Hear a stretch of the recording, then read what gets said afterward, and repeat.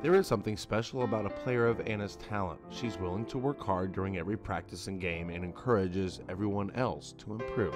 Anna is a great example of strong leadership, genuine sportsmanship, impeccable conduct, and positive attitude.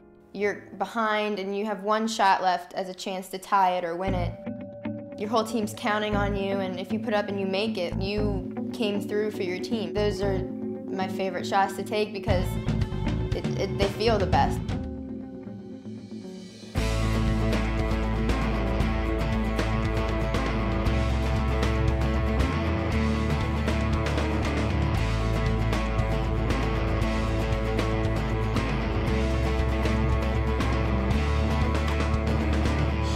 I always have to make sure to make time to go to the gym and work on shooting more by myself because with the few practices we have, we more work on focus on plays and getting everything down so everybody learns it more than just like skills.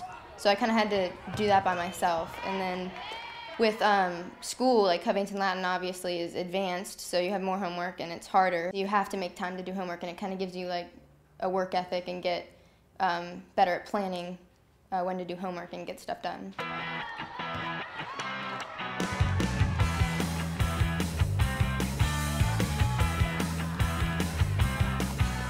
I, since I play on an AAU team, there's nobody really else at my school that has had experience like that before. And so just being at practice helps me to share like experience that I've gotten over the years with them and help them like kind of hone their skills.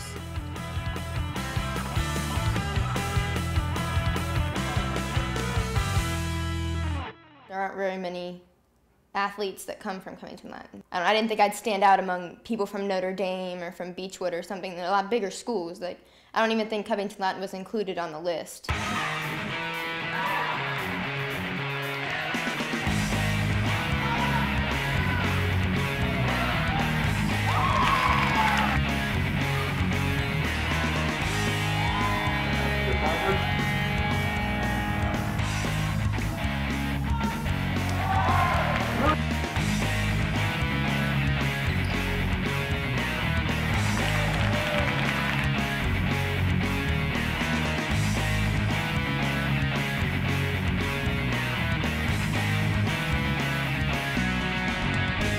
More than the friendship.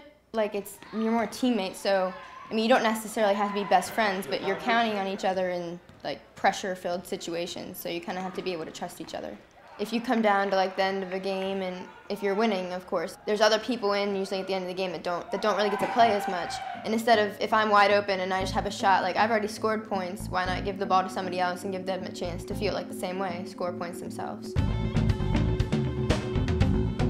if you're doing something, you might as well do your best at it instead of just kind of muddling through it and just doing it to get it over with. Might as well work hard and be successful. And everybody always likes being successful. It always feels better than just being there and say, oh, I participated. It shows your work pays off.